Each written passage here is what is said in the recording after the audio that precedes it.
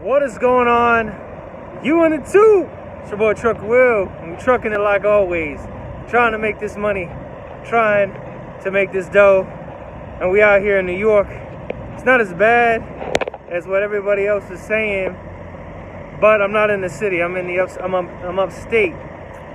So we're gonna show you what driving, trucking during this pandemic out here on the freeways, what it looks like. It's kind of desolate. We're gonna talk about it next on trucking. The trucking will.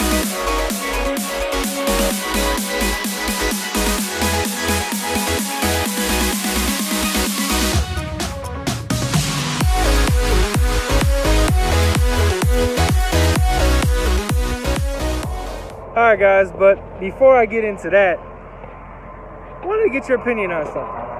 So, I was having a conversation with my wife uh, this morning, and she's been following this this stuff very closely, and she basically was telling me that she feels like I should come home. Now, I've been doing my TNT training uh, with my student, aka my son. Uh, we've been running for the most part okay, uh, but there has been a, a, a slack in loads, uh, for the exception of being stuck in uh, Florida for two days. Then we went out to California. Uh, from California, we went up to Oregon, dropped the load up in Oregon, then deadheaded like almost 600 miles. It's like 400, 450 to 600 miles down to Idaho. That load was held up. I called originally to see if it was ready. They told me it was. I got there, it wasn't ready. Uh, then we proceeded to try to go get some food uh, and go to Walmart. Uh, Walmart was closed. They closed. All WalMarts are closing at like eight o'clock. So if you guys weren't aware of that. Uh, we went over to uh, Panda Express. The uh, Panda Express was closed on the inside. Shout out to Panda Express because uh, in uh, up there um, because they let us they let us come in and order. We're like they're like you can use your drive-through, and we were like we're a truck, and they're like oh well come on in. So shout out to Panda Express for showing some truck drivers some love uh, during this time when we trying to get we trying to put some food in our stomachs. Um, so we did that. Got our load at like one o'clock in the morning. Uh, my student took off. He started driving. Uh, rocked it out. Then we got halfway there. I noticed that I was gonna have to do a 34-hour reset. So I did my 34-hour reset. Um, ended today, so I was able to drive. Um, so we sat for 10 hours in Highway 80 uh, yesterday, and uh, got some got some rims on the truck now. Truck's looking kind of nice. Um, then left out, and now uh, we're about 160 some odd miles from our 90. So some of the footage is just going to be of the road, um, primarily going to be of the road and just how desolate it is on the roads here um, Pennsylvania into New York, uh, upstate New York.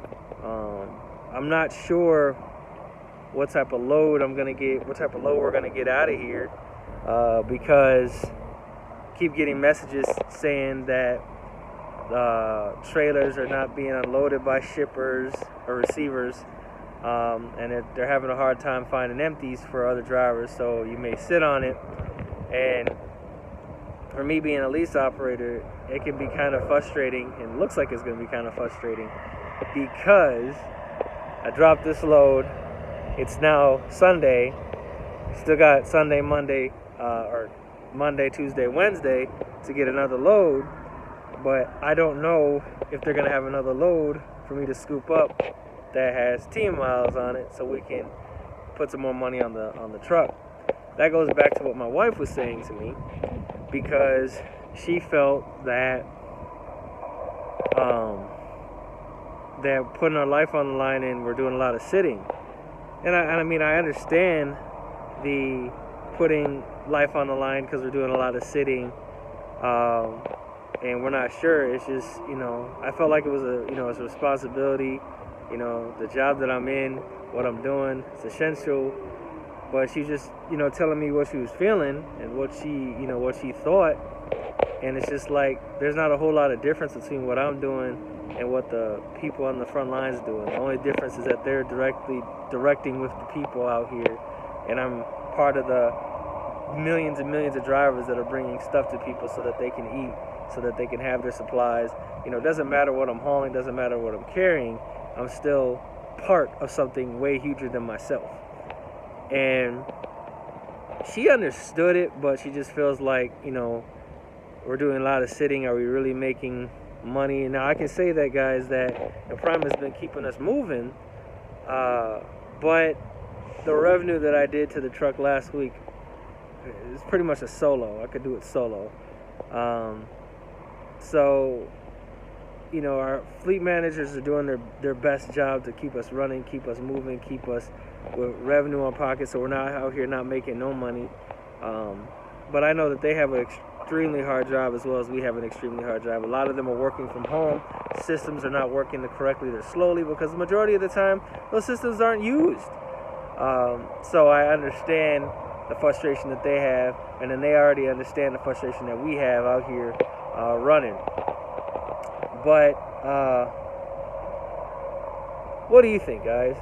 Do you think that I should chalk it up and be like, all right, and head home, or keep on trucking, keep on keeping the left door closed, right foot down, only when it's safe? You know, um, I, I look at it, the wheels are not turning, I'm not earning. You know, uh, bills got to be paid, even though they have all these things, you know, to combat that, to help you with that. Still, stuff, still things got to still be taken care of. Perfect time to invest in yourself. If you're making money, invest in yourself. Try to make that money work for you. But there's a sacrifice in it, you know, and the sacrifice is, you know, I haven't been home since December. Um, I went home, well, a home time. Let me rephrase that. I haven't been on home time since December. I went home uh, for a day because the load didn't drop until the next day. Uh, but I haven't really been home for home time since December, and now this COVID 19 thing hits. Um, my biggest concern is that I got my mother, who's in her 60s, I got my mother in law, who's in her 70s, I got my niece and my nephew, their little one, their oldest one, my son, and um, and then my wife that are all there. So that's my other concern is I don't want to bring in nothing um, from out here to them. So that's something that I, you know, think about, you know, and it's kind of a struggle because you want to go home, but then you're like, I don't want to get them sick, and then it's like, eh. And you, you, you don't even have to be sick, you know, or have anything going on with you. You just want to be safe, and I'd rather be safe than sorry. And being safe means stays out here, keeps these wheels turning. I mean, I'm I'm with that. You know, they're talking about August or uh, what is it? August, September um, where birds start putting people back in, in, stadiums and stuff like that. But we haven't even reached the peak yet. It's it's a it's a bunch of different things, but it just makes you think.